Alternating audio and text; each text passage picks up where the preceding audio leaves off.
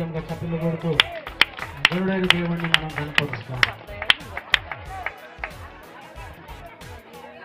ప్రైజ్లో ఇప్పటి వరకు ఎంతో ఓపికతో నడిపించినటువంటి దేవుని యొక్క సేవకులు మహేశ్వర్ పాస్టర్ గారిని నిజంగా మరి అదేవిధంగా ఇక్కడ